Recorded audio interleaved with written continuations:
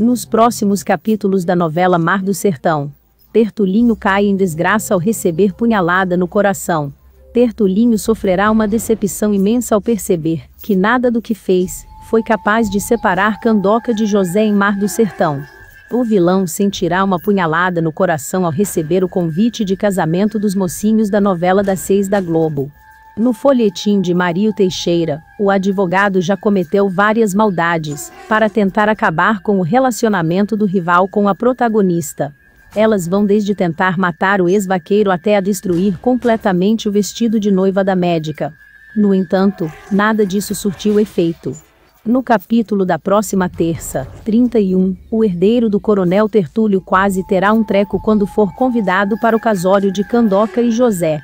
A tristeza do rapaz será evidente, e até Xaviera perceberá o incômodo do afair com a cerimônia. A espevitada, inclusive, tentará aconselhar o coronelzinho. Ela exigirá que Tertulinho seja gentil com o meio-irmão, afinal os dois têm o mesmo sangue e precisam se esforçar para acertarem as desavenças do passado. Só que o filho de Deodora não se mostrará nem um pouco disposto a aceitar tal condição. Mais uma vez, ele tentará atrapalhar o casamento da ex-mulher e mandará Márcio Castro marcar a regata náutica para o mesmo dia do casamento dos protagonistas. Diante disso, o padre Zezo e a pastora Dagmar pedirão para que o casal adiante a cerimônia por causa do evento na fazenda Palmeiral. Candoca se enfurecerá com a atitude de Tertulinho e decidirá confrontá-lo.